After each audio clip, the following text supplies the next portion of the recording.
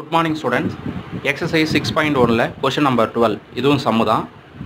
Forces of magnitude five root two and ten root two units acting in the direction three i cap plus four j cap plus five k cap and ten i cap plus six j cap minus eight k cap respectively act on a particle which is displaced from the point with the position vector 4i cap minus 3j cap minus 2k cap to the point with the position vector 6i cap plus j cap minus 3k cap. Find the work done by the force. முறையே five root two மற்றும் ten root two அலகுகள் என்ன அளவு கொண்ட கொடுத்துருக்குது magnitude இது வந்து force அல்ல. ஸோ அப்போ என்ன அளவு கொடுக்கப்பட்டிருக்கு?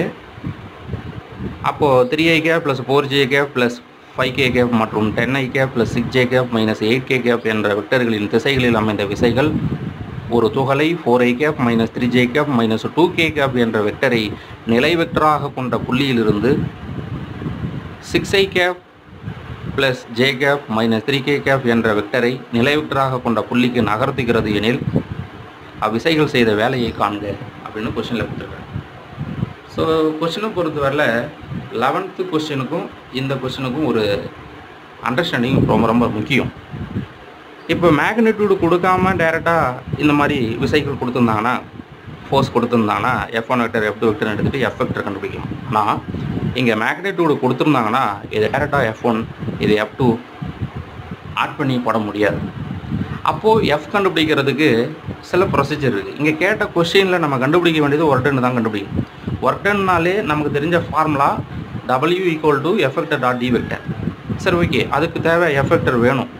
அப்போ ஃபர்ஸ்ட் ஆஃப் ஆல் நம்ம என்ன பண்ணணும் அப்படின்னா இந்த கொஷினில் மேக்னிடியூடு கொடுக்கப்பட்டிருந்தாங்கன்னா இந்த எஃபெக்டர் கண்டுபிடிக்கிறதுக்கு எப்படி ஃபார்முலா அப்படின்னு பார்த்தீங்கன்னா ஃபஸ்ட்டு மேக்னிடியூடு என்ன இருக்குன்னு பாருங்கள் five root two so five root two into F one cap ஏன்னா இங்கே கொடுத்துருக்கிற ஒரு ஃபோர்ஸ் வந்து ஃபஸ்ட்டு வருது F one cap plus second magnitude value வந்து டென் ரூட் டூ ஸோ அப்போ டென் ரூட் டூ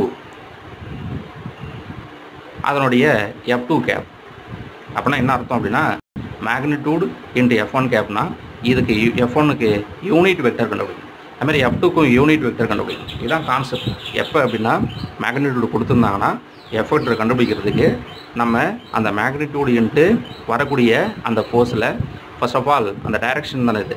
அப்போ இந்த எஃப் ஒன் கேப்பு அதேமாதிரி செகண்ட் ஒனுக்கு எஃப் டூ கேப் அதனுடைய மேக்னிடியூடை இங்கே எழுதிக்கணும். இதுதான் கான்செப்ட் ஸோ யூனிட் வெக்டர் அப்படின்னாலே எப்படி கண்டுபிடிக்கணும் அப்படின்றத ரஃப் ஒர்க்காக இங்கே சொல்கிறோம் பாருங்கள் இப்போது யூனிட் வெக்டர் அப்படின்னா என் கேப் எடுத்துக்கிறோம். அதை வந்து நம்ம எப்படி சொல்லலாம்னா so N vector divided by modulus of N vector அப்படின்னு நம்ம சொல்லுவோம். அந்த கான்செப்டில் இந்த என் கேப் எப்படி கண்டுபிடிக்கிறதுக்கு ஃபார்முலா நமக்கு வந்து யூனிட் வெக்டருடைய ஃபார்முலாவோ அதே தான் இங்கேயும் எஃப் ஒனுக்கும் கண்டுபிடிக்க போகிறோம் எஃப் டூ கேப்புக்கும் கண்டுபிடிக்க போகிறோம் ஸோ அந்த கான்செப்டில் five root two F one cap அப்படின்னு சொல்லும்போது ஸோ எஃப் ஒன்னுடைய அந்த வேல்யூ வந்து ஃபஸ்ட்டு வர்ற வெக்டர் மதிப்பு. வேணும்னா இங்கே எழுதிக்கலாம். ஸோ வேர் நமக்கு எஃப் ஒன் அந்த வெக்டர் வேல்யூ வந்து ஃபஸ்ட்டு இருக்கிறது தான். Three I cap plus four J cap plus five K cap அதே போல் எஃப் டூ வெக்டர் வந்து இந்த செகண்டாக வர்றது ten I cap plus six J cap minus eight K cap அப்படின்னு நம்ம எழுதிக்கலாம். சரி ஓகே இப்போது இந்த கண்டிஷன் பிரகாரம் நம்ம இங்கே எழுத போகிறோம் எப்படி?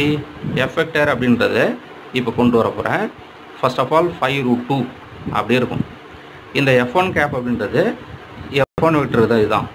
ஸோ இந்த கான்செப்டில் இப்போ எழுத போகிறோம் அந்த கான்செப்டில் எழுதணும்னா கிடைக்கக்கூடிய மதிப்பு வந்து நம்ம எப்படி கொண்டு வரோம் அப்படின்னா என் F one vector F one vector அப்படின்றது இதுதான். So three I cap plus four J cap plus five K cap அப்படின்னு எழுதிட்டு டிவைடட் பை அதுக்கு மாடுலஸ் எடுக்கணும். ஸோ மாடுலஸ் மீன்ஸ் என்னது? ஸ்கொயர் ரூட்டுன்னு சொல்லுவோம். அப்போ square root of three square nine plus four ஏன்னா வெக்டரில் மாடுலஸ்னும் போது ஸ்கொயர் பண்ணி எழுதிக்கணும். Three square nine four square வந்து sixteen five square twenty five அப்படின்னு கிடைக்கும். ஓகே ஸோ ஒரு வேல்யூ முடிஞ்சிச்சு ப்ளஸ்ஸு இங்கே ப்ளஸ் இருக்குதான் அந்த plus ten root two so அப்போ டென் ரூட் டூ அப்படின்றத நம்ம எழுதிட்டோம்.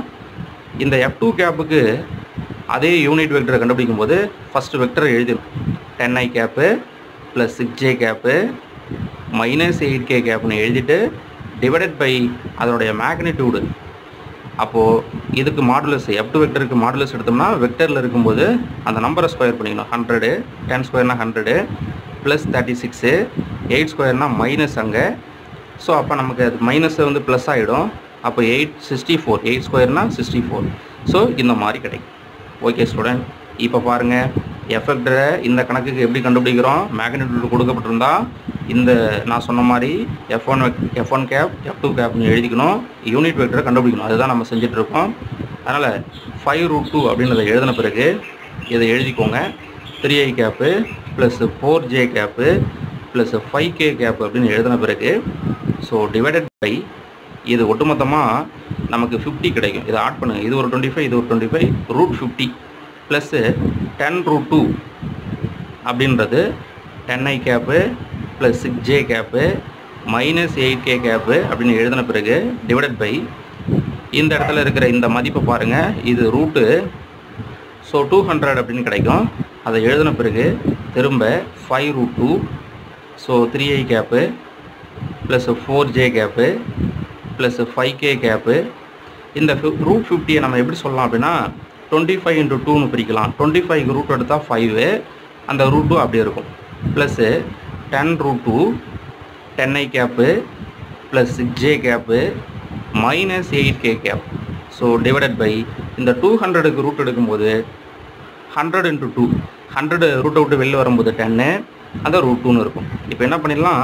இந்த five root two five root two cancel ten root two ten root two cancel so remaining இருக்கிறது three I cap plus four J cap plus five K cap cancel பண்ண பிறகு remaining இருக்கிறத மட்டும் எடுத்து எழுதுகிறேன் ஸோ இந்த மாதிரி கிடைக்கும். ப்ளஸ் அடுத்தது ten I cap plus six J cap minus eight K cap so இந்த மாதிரி கிடைக்கும். இது எல்லாத்தையும் ஆட் பண்ணால் அதுதான் எஃபெக்டர் அப்படின்றது. ஸோ டோட்டலி இதை ஆட் பண்ணும்போது thirteen I cap so next இது ரெண்டு ஆட் பண்ணும்போது plus ten J cap so இது மைனஸ் இது ப்ளஸ் அப்போ சப்ராக்ட் பண்ணும்போது minus three K cap so எஃபெக்டரை கண்டுபிடிக்கிற மெத்தட்ஸ் இந்த கணக்குக்கு என்ன மெத்தடில் நம்ம கண்டுபிடிக்கிறோம் அப்படின்றது உங்களுக்கு நல்லா புரிஞ்சிருக்கும்னு நினைக்கிறேன். ரைட்ஸ் இப்போ எஃபெக்டரை கண்டுபிடிச்சிட்டோம். நமக்கு ஒர்டன் தான் கேட்குறாங்க F vector dot D vector இப்போ டி வெக்டர் எடுத்து எழுதிக்கணும். அந்த டி வெக்டர் எடுத்து எழுதும்போது போன கணக்கில் நமக்கு வந்து எப்படி இருந்ததுன்னா பாயிண்ட்ஸில் இருந்தது. ஸோ அப்போ ஓஏ வெக்டர்னு ஒன்று எடுத்துக்கிட்டு ஓபி வெக்டர்னு எடுத்துகிட்டு ஓபி வெக்டர் மைனஸ் ஓஏ வெக்டர்னு எழுதுவோம்.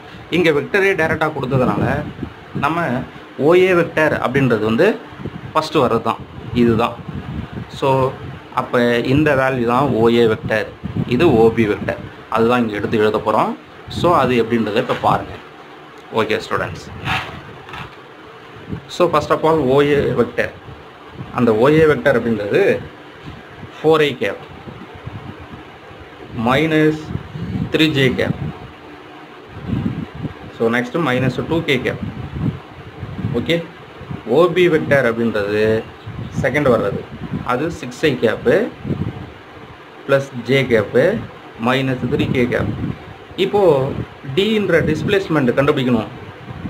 அதுக்கு என்ன formula OB vector minus OA vector second பாயிண்ட்லேருந்து ஃபஸ்ட் பாயிண்ட்ஸ் மைனஸ் பண்ணும் ஸோ அப்போ D vector equal to ஓபியை first எழுதிக்கிறேன் six I cap plus J cap minus three K cap so minus OA vector அப்படின்றது four I cap minus three J cap minus two K cap இது உங்களுக்கு தெரியும். Subtract பண்ணுறது இந்த minus சிம்பிளை உள்ள எடுத்து மல்டிபிள் பண்ணி அதுக்கு பிறகு சப்ராக்ட் பண்ணால் கிடைக்கக்கூடிய ஃபைனல் ரிசல்ட் வந்து two I cap plus four J cap ரொம்ப ஈஸி தான் அது. ஸோ இந்த மாதிரி சப்ராக்ட் பண்ண பிறகு டி வெக்டர் நமக்கு கிடைக்கும். அது ஒரு வேல்யூ நம்ம. ஸோ இப்போ பாருங்கள் ஸ்டூடெண்ட்ஸ் இப்போ நெக்ஸ்ட் வந்து நம்ம என்ன கண்டுபிடிக்கணும் அப்படின்னா ஒர்டன் வேணும். அப்போ W டபிள்யூனா F vector dot D vector ரெண்டுமே கண்டுபிடிச்சாச்சு. ஸோ அப்போ டபிள்யூ ஈக்குவல் டு எஃபெக்டருடைய வேல்யூ எடுத்து எழுதிக்கிறேன்.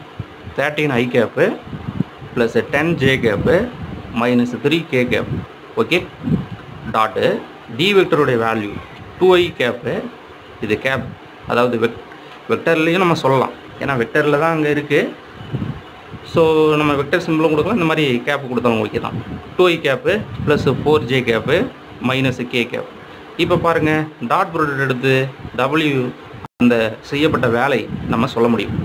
Thirteen into two twenty six ten into four forty minus into minus plus three so so இது எல்லாத்தையும் ஆட் பண்ண நமக்கு கிடைக்கக்கூடியது சிக்ஸ்டி நைன் யூனிட்ஸ் ஸோ இதுதான் இதனுடைய ஒரு டென் அப்படின்னு நம்ம முடிக்கணும். Okay student thank you